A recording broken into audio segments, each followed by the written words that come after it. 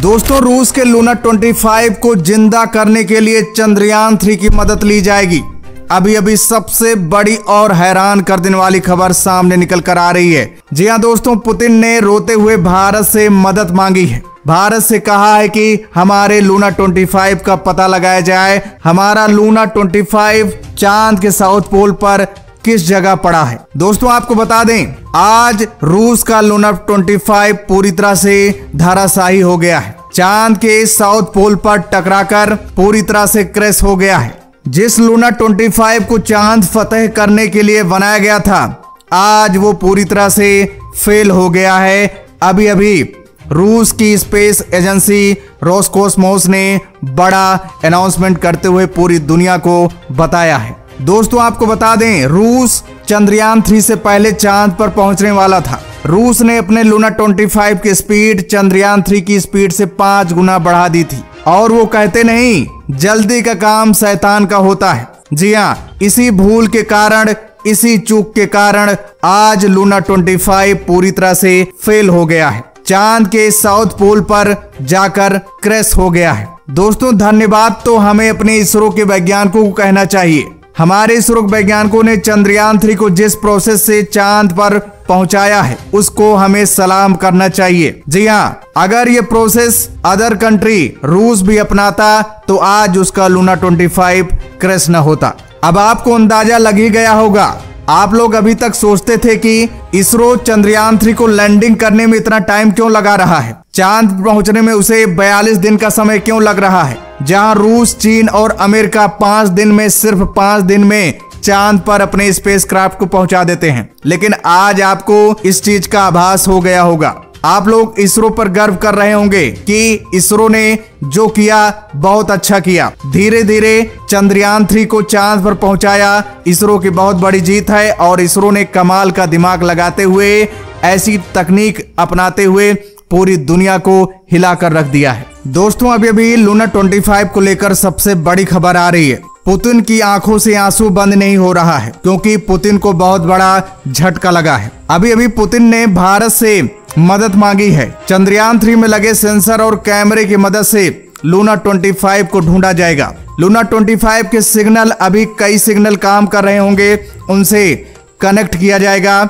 ऐसी खबर सामने निकल कर आ रही है। देखना मत भूलिएगा और चंद्रयान थ्री के सफल लैंडिंग के लिए दोस्तों, एक लाइक तो बनता है, वीडियो को लाइक करिएगा। दोस्तों, आपको बता दें लूना 25 तो क्रैश हो गया है, लेकिन हमारा चंद्रयान थ्री अभी चाँद की ओर बड़े एनर्जी के साथ आगे बढ़ रहा है। अपनी सारी यात्रा को वो पूरा कर चुका है, बस अंतिम पड़ाव में फंसा हुआ है। यानी चंद्रयान थ्री की लैंडिंग प्रोसेस शुरू हो गई है। चंद्रयान थ्री की डिबूस्टिंग भी कर दी गई है। यानी चंद्रयान थ्री की स्पीड को कंट्रोल में लाया गया है, उसकी स्पीड को कम कर दिया गया है। देखा जाए तो हमारा चंद्रयान थ्री सफलता की ओर आगे बढ़ रहा है। अभी एक भी परसेंट का चूक चंद्रयान थ्री में देखा नहीं गया है। इसलिए इसरो के वैज्ञानिक बहुत खुश हैं। हालाँकि एक बार उन्हें झटका लगा जब लूना 25 क्रैश हुआ। क्योंकि काफ़ी दुखद समाचार है दोस्तों। आप भी हिल गए होंगे लूना 25 को लेकर, जहाँ रूस जैसी स्पेस एजेंसी जो कि काफ़ी एडवांस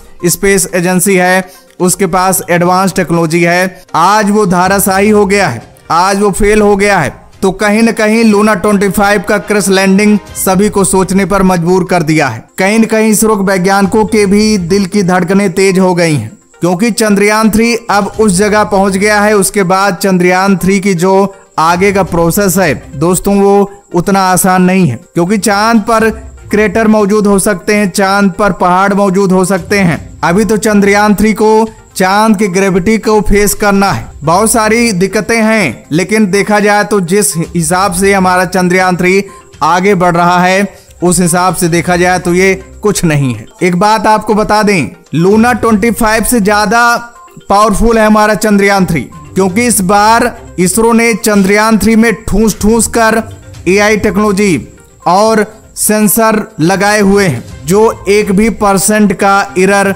चंद्रयान थ्री में नहीं दे सकता है। अब दोस्तों जान लेते हैं कि रूस का लूना 25 किस वजह से क्रैश हुआ है। रूस की स्पेस एजेंसी रोसमोस्कोस ने क्या बताया है? रूस की स्पेस एजेंसी रोसमोस्कोस का कहना है कि हमारा लूना 25 चाँद के ऑर्बिट को पकड़ने ही वाला था, तभी लूना 25 में कुछ टेक्निकल इशू हमें दिखाई दिया। उसके बाद हमारी टीम द्वारा टेक्निकल इशू को दूर कर दिया गया। उसके बाद लूना 25 को कमांड भेजा गया। कमांड मिलते ही लूना 25 चाँद के ऑर्बिट को पकड़ लिया। चाँद के ऑर्बिट का चक्कर ही लगा रहा था। उसी दौरान हमारी टीम द्वारा लूना 25 की डिबूस्टिंग करने का प्रोसेस चालू हुआ। लूना 25 का डिबूस्टिंग होने ही वाला था, तभी लूना 25 से हमारी टीम का संपर्क टूट जाता है। ये इसलिए हुआ क्योंकि लूना 25 को जिस ऑर्बिट में हमें भेजना था। हम उसके लिए कमांड दिए थे, लेकिन हुआ ये कि लूना 25 दूसरे ऑर्बिट में चला गया।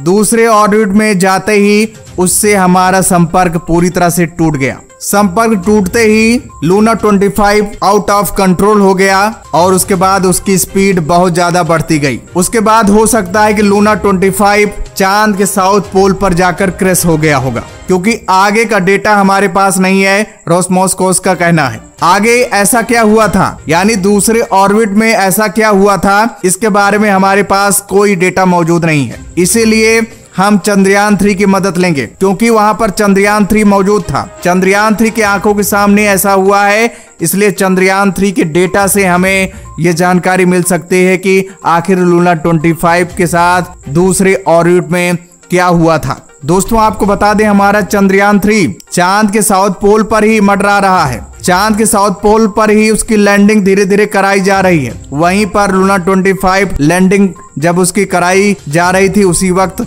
वो क्रैश हुआ है। बताया जा रहा है कि लूना 25 साउथ पोल पर ही जाकर कहीं गिरा हुआ है।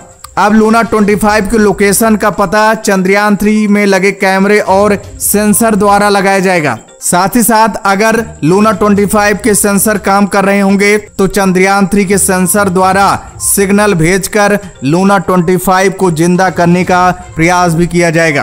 क्योंकि चंद्रयान थ्री में इतनी कैपेसिटी है कि ऐसा काम कर सकता है। इसका जीता जागता उदाहरण आप देख चुके हैं। चंद्रयान थ्री ने चंद्रयान टू को भी ज़िंदा किया है। तो उसी तरह अब चंद्रयान थ्री की मदद से लूना 25 भी ज़िंदा किया जाएगा।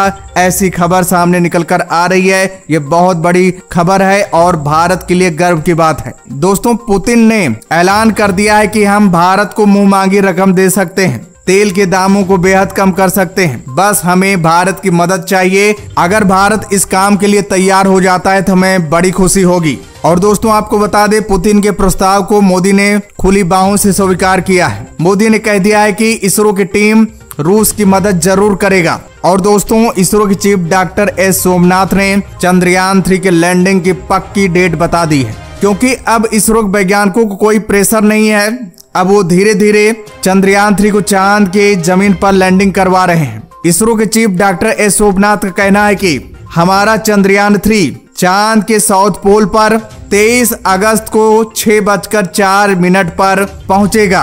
23 अगस्त को छह बजकर चार मिनट पर उसकी लैंडिंग हो जाएगी, ये पूरी तरह से कंफर्म है। और दोस्तों ईश्वर से प्रार्थना करिए कि हमारा चंद्रयान थ्री सही सलामत चाँद के ज़मीन पर पहुँच जाए और उसकी सॉफ्ट लैंडिंग कंफर्म हो जाए। तो दोस्तों, फटाफट वीडियो को लाइक करिए। तो दोस्तों, जय हिंद, जय भारत।